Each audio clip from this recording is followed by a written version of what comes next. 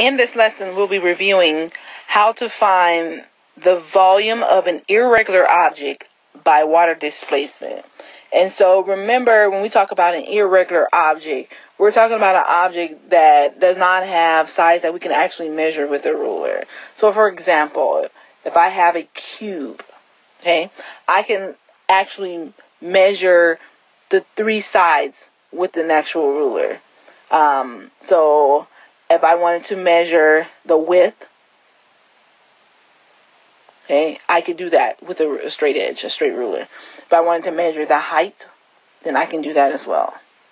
Um, if I wanted to measure, and so we'll say length and width is the same in this example, I could do that with it. But if I wanted to measure the volume of this rock, then um, it's it's going to be a little bit more difficult. So what I would actually need to do is I would need to um, use water displacement. So let's take a look at what we have. So what we initially do is we start off with a graduated cylinder. And so we fill our graduated cylinder up with a particular amount of water, um, enough water to where you know that it will cover the object. Um, and so when we uh, we write down the initial volume, so whatever that volume is initially, we write it down. So here, our initial volume would be 30 milliliters. But remember, since we're doing volume by water displacement, then what we're going to do is we're going to use 30 cubic centimeters. Okay, so our initial would be 30 cubic centimeters.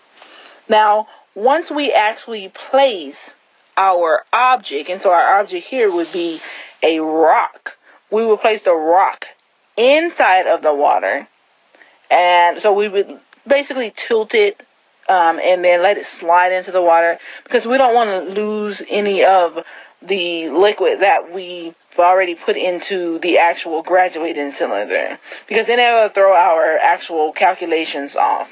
So now that we've put the rock into the water, then what we have here is we have a new we have a new volume. And so our new volume would be 40 cubic centimeters. Okay, so we call that our final volume. This would be our final volume. Okay, so now that we have two different volumes, what we have to do now is we have to actually take the difference between the two volumes. And so remember, even in math class, when we say difference, that means we're subtracting. Okay? So which one are we actually subtracting? Well, we're subtracting our initial from our final.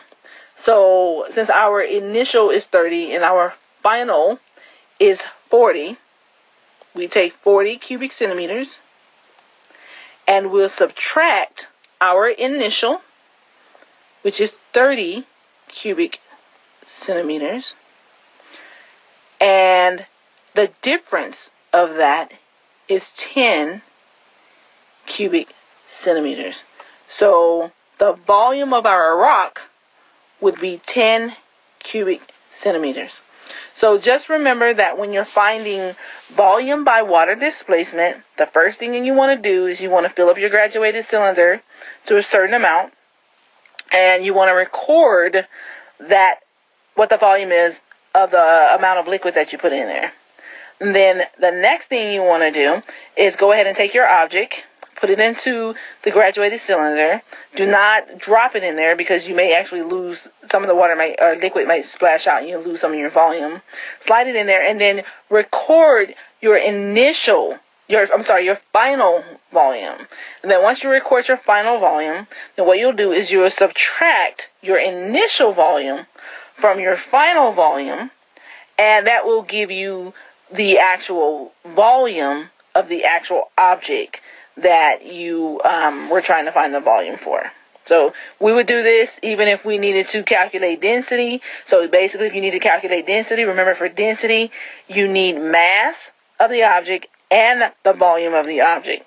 So if you were asked to calculate the density of something, but you do not of an of an irregular object, but you do not know the mass, you would have to weigh it, and then after you weighed it, and then you would have to find the volume, you can find that by water displacement. Okay, so keep that in mind, and you'll do fine.